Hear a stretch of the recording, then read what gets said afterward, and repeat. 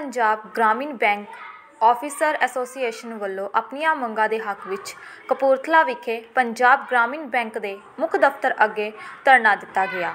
ਧਰਨੇ ਵਿੱਚ ਬੈਂਕ ਦੇ 400 ਦੇ ਕਰੀਬ ਅਧਿਕਾਰੀਆਂ ਨੇ ਸ਼ਮੂਲੀਅਤ ਕੀਤੀ।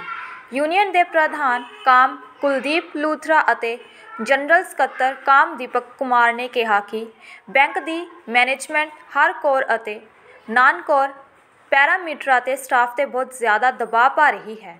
ਹਰ ਦੂਜੇ ਪੈਰਾਮੀਟਰ ਤੇ ਬਹੁਤ ਜ਼ਿਆਦਾ ਸਮੀਖਿਆ ਮੀਟਿੰਗਾਂ, ਸਪਸ਼ਟੀਕਰਨ ਕਾਲਾ ਜਾਰੀ ਕੀਤੀਆਂ ਜਾ ਰਹੀਆਂ ਹਨ। ਬੈਂਕ ਸਟਾਫ ਭਾਰੀ ਮਾਨਸਿਕ ਤਣਾਅ ਵਿੱਚੋਂ ਗੁਜ਼ਰ ਰਿਹਾ ਹੈ। ਇੱਕ ਦਿਨ ਦੀ ਆਮ ਛੁੱਟੀ ਤੇ ਵੀ ਸਟਾਫ ਨੂੰ ਟੈਲੀਫੋਨ ਤੇ ਪਰੇਸ਼ਾਨ ਕੀਤਾ ਜਾਂਦਾ ਹੈ।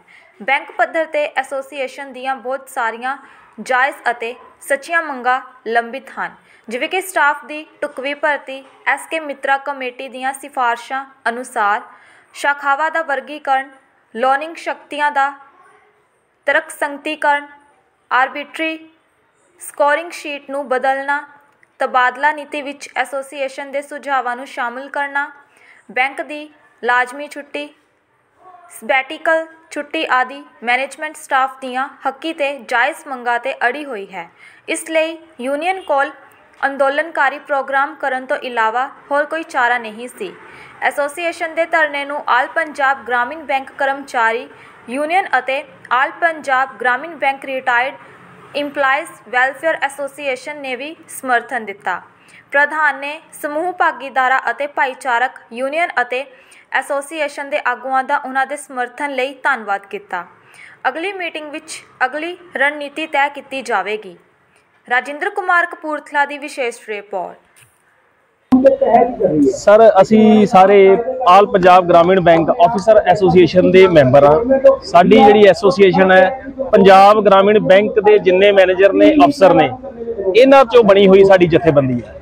ਸਾਡੀਆਂ ਪਿਛਲੇ ਕਾਫੀ ਸਮੇਂ ਤੋਂ ਡਿਮਾਂਡਸ ਪੈਂਡਿੰਗ ਚੱਲੀਆਂ ਆ ਰਹੀਆਂ ਸੀ। ਉਸ ਡਿਮਾਂਡਸ ਨੂੰ ਲੈ ਕੇ ਅਸੀਂ ਮੈਨੇਜਮੈਂਟ ਦੇ ਨਾਲ ਬਹੁਤ ਵਾਰੀ ਵਾਰਤਾ ਵੀ ਕੀਤੀ।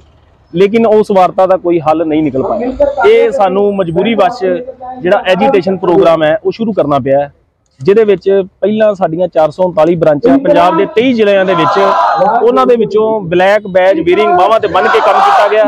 ਉਸ ਤੋਂ ਬਾਅਦ ਮੈਮੋਰੈਂਡਮ ਸਬਮਿਸ਼ਨ ਦਾ ਸਾਡਾ ਪ੍ਰੋਗਰਾਮ ਸੀ ਜੋ ਕਿ ਅਸੀਂ ਆਪਦੇ ਬੋਰਡ ਆਫ ਡਾਇਰੈਕਟਰਾਂ ਨੂੰ ਮੈਮੋਰੈਂਡਮ ਸਬਮਿਟ ਕੀਤੇ ਆਪਣੇ ਬੈਂਕ ਦੇ 7 ਰੀਜਨਲ ਮੈਨੇਜਰਸ ਨੂੰ ਆਪਾਂ ਮੈਮੋਰੈਂਡਮ ਸਬਮਿਟ ਕੀਤੇ ਤੇ ਉਸ ਤੋਂ ਬਾਅਦ ਸਾਡਾ ਪ੍ਰੋਗਰਾਮ ਸੀ ਅੱਜ ਦੇ ਐਜੀਟੇਸ਼ਨ ਦਾ। ਤੇ ਉਹ ਸਾਡੇ ਇੱਥੇ ਪੰਜਾਬ ਦੀਆਂ 23 ਜ਼ਿਲ੍ਹਿਆਂ ਦੇ ਵਿੱਚੋਂ ਸਾਡੇ ਜਿਹੜੇ ਨੁਮਾਇੰਦੇ ਨੇ ਸਾਡੇ ਜਿਹੜੇ ਸਾਥੀ ਨੇ ਉਹ ਸਾਡੇ ਨਾਲ ਆ ਕੇ ਇਸ ਧਰਨੇ 'ਚ ਸ਼ਮੂਲੀਅਤ ਕਰ ਰਹੇ ਨੇ। ਕੀ ਤੁਹਾਡੀਆਂ ਮੇਨ ਡਿਮਾਂਡ ਕੀ ਹੈ ਡਿਮਾਂਡਾਂ ਦੇ ਵਿੱਚ ਸਾਡੀ ਮੇਜਰ ਡਿਮਾਂਡ ਇਹ ਹੈ ਕਿ ਗ੍ਰਾਮੀਣ ਬੈਂਕਾਂ ਦੇ ਵਿੱਚ ਐਸਕੇ ਮਿੱਤਰਾ ਕਮੇਟੀ ਹੈ ਜਿਹੜੀ ਉਹ ਲਾਗੂ ਹੈ।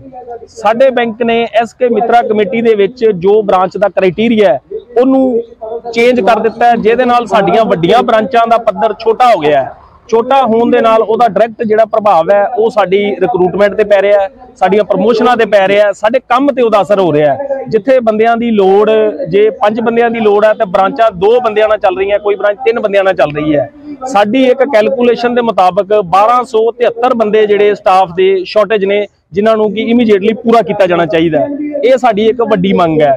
ਦੂਜੀ, ਕਿਉਂਕਿ ਬਾਕੀ ਮੰਗਾਂ ਇਹਦੇ ਉੱਤੇ ਨਿਰਧਾਰਤ ਨੇ।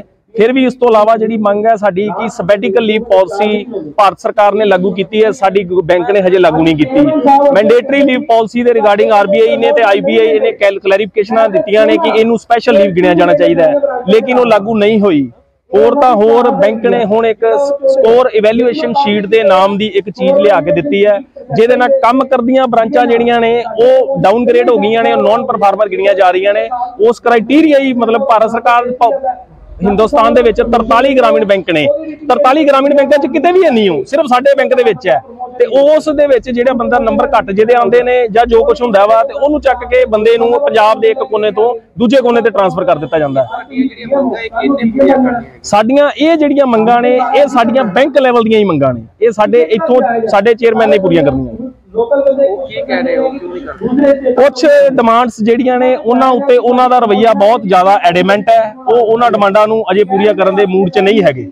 ਤੇ ਇਸੇ ਕਰਕੇ ਇਹ ਧਰਨਾ ਲੱਗ ਰਿਹਾ। ਇਹ ਅਣਮਿੱਥੇ ਸਮੇਂ ਲਈ ਜਾ ਚੁੱਕਾ ਸਾਡਾ ਜਿਹੜਾ ਧਰਨਾ ਹੈ ਉਹ ਅੱਜ ਦੇ ਦਿਨ ਦਾ ਹੀ ਹੈ। ਇਸ ਤੋਂ ਗਾਂ ਜਿਹੜਾ ਵੀ ਸਾਡੀ ਰਣਨੀਤੀ ਹੈ ਉਹ ਸਾਡੀ ਐਗਜ਼ੈਕਟਿਵ ਮੀਟਿੰਗ ਡਿਸਾਈਡ ਕਰੇਗੀ। ਸਾਡੀ ਲਾਸਟ ਐਗਜ਼ੈਕਟਿਵ ਮੀਟਿੰਗ ਦੇ ਵਿੱਚ ਜੋ ਡਿਸੀਜਨ ਹੋਇਆ ਸੀ ਉਹ ਅਸੀਂ ਪ੍ਰੋਗਰਾਮ ਤੇ ਲਾਗੂ ਕਰ ਰਹੇ ਹਾਂ। ਜਦੋਂ ਅੱਜ ਦੇ ਧਰਨੇ ਤੋਂ ਬਾਅਦ ਐਗਜ਼ੈਕਟਿਵ ਮੀਟਿੰਗ ਜੋ ਡਿਸੀਜਨ ਲਾਗੂ ਕਰੇਗੀ ਅਸੀਂ ਉਹਨੂੰ ਇੰਪਲੀਮੈਂਟ ਕਰਾਂਗੇ।